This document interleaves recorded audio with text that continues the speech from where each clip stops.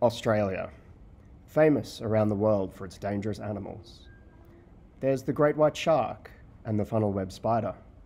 Then there's the crocodile, and of course, the drop bear. But for three months a year, one animal is responsible for more attacks on humans than any other the magpie. Magpie attacks are a commonly cited occurrence in Australia during the nesting season, which is from August to October. So far in 2019, there have been 3,393 magpie attacks um, reported to Magpie Alert in New South Wales. A website designed to document public experiences through citizen science. The amount of unreported attacks is likely much higher. One recent event left a six year old blinded in her left eye. The Australian magpie is a territorial songbird known to frequently attack intruders in close proximity to their nesting areas. They nest in groups of up to 24 individuals in trees but feed exclusively on the ground. Their attacks usually involved direct contact, often striking from a blind angle, targeting the back of the neck of targets. Magpies are also known to chase after other birds for short distances without the intention to kill them. Magpies attacks are one of the most significant interactions between humans and animals in suburban areas of Australia. Current evidence suggests magpie attacks on humans are a form of brooding behavior as opposed to territorial defense, and the vast majority of attacks involve a male while there are eggs at the nest. In this study, we are looking to understand whether different situations change the swooping behavior of magpies. We hypothesize that the behavior of magpies will change based on the perceived risk and that the swooping behavior will be more common against single walkers and cyclists as compared to groups. We also believe that cyclists will be targeted more often based on anecdotal accounts. We have framed our study around, the t- around Tinbergen's questions what mechanisms give rise to this behavior? MagpieAlert.com was used to identify sites for the study. Magpie is a citizen science website that can be used to track magpie swoops. The site also captures information about the attacks, including whether victims are, were injured and the activity they were doing at the time. Three sites were chosen using Magpie Alert that showed recent magpie activity, and their st- study was conducted between 22nd and the 30th September 2019. Once magpies were lo- located at the sites, cameras were used to record their behavior under different episodes. Episodes including walking, jogging, cycling slowly, cycling fast, walking groups, walking beside a cyclist, and other general activities from passerby. Team members simulated these episodes, and magpie behavior was recorded using ad libitum and scanning techniques of the capture footage. Behavioral actions captured including sweeping, flying away, vigilance at height, vigilance on the ground, and no change in behavior. We identified our site using Magpie Alert to be in residential Redfern. The site was between Vice Chancellor's Oval and Henderson Road and was recorded to have over five magpie attacks in the last two months. Upon arrival to the site, we noticed moderate foot and cyclist traffic both within the park and on the adjacent road. It was identified that there was a singular magpie at the site situated in overhanging trees where it remained vigilant of the passing foot and bike traffic.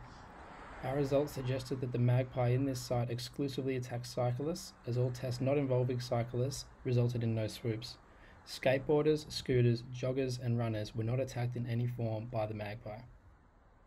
During a 60 minute period, we recorded 34 swoops to cyclists where the magpie would swoop an average of 2.6 times per episode. During cycling tests, the magpie would attack repeatedly until the cyclist had either gotten off the bike or had exited the path that passed through the site. It was also recorded that the magpie would fly to swoop cyclists on the other side of the road. It was found that the magpie would not swoop when the cyclist was appro- approximately 20 metres from overhanging trees or buildings or when road cyclists passed through the site at a high speed. Site 2 consisted of two distinct regions, an outdoor park and suburban area. The suburban region had few people walking outdoors and a few cars passing by, with houses comprising most of the land use. The park region was dense with trees, and a bike track ran through the area. On the bike track, people were seen walking their dogs and riding bikes. Site 2 consisted of dense trees and had Chipping Norton Lake to one side and residential buildings on the other.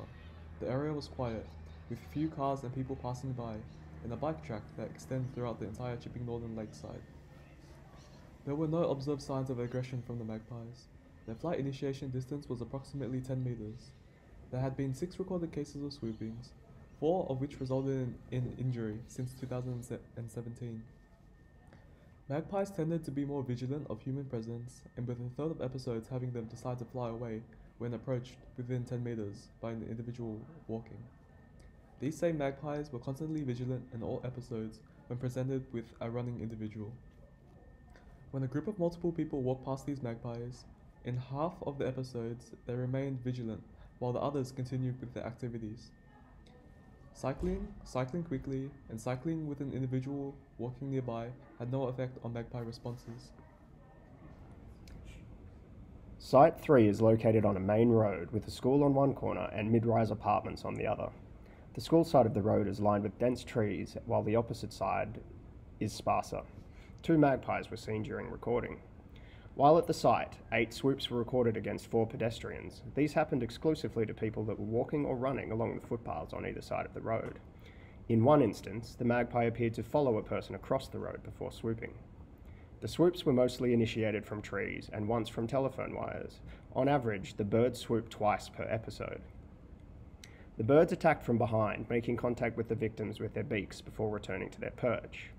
The birds appeared selective in their targets, not reacting to all pedestrians. During cycling and group simulations, the birds remained vigilant on their perch and no swoops were recorded. In support of this data, 10 swoops have been recorded on magpiealert.com at this site since the beginning of September, eight of which were against walkers or runners and two against cyclists. Half of these swoops resulted in injury. A study undertaken by Warne Jones in the Journal of Wildlife Research suggested that Australian magpies show specificity in their swooping attacks. They found a clear majority of magpies only attacked one type of intruder. Our results also support these assertions. Redfern was clearly the strongest evidence that magpie have a behavioural preference for certain people. Our test subject and two strangers cycling were continually swooped upon. There are a total of 34 swoops, the entirety were all of cyclists, and no other intruder was attacked. During our time in Redfern, the magpie that had consistently attacked the cyclist began to stop once we rode over the open parkland. It is not clear as to why this was, however, we speculate it could be due to potential threats in the area or the lack of a landing zone. A similar reluctance to swoop was seen as the cyclist approached a group of people. The magpie also swooped only one time, as opposed to the average two swoops, when our test subject walked beside the cyclist. While not confirmed, this data implies controlled aggression if the intruders are grouped together.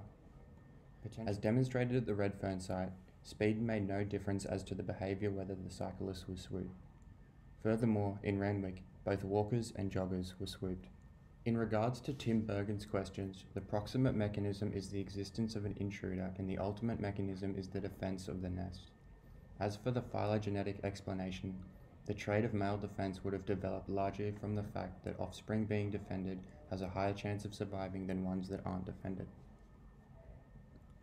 In conclusion, it is known that magpies breeding season in Australia is between August and October every year.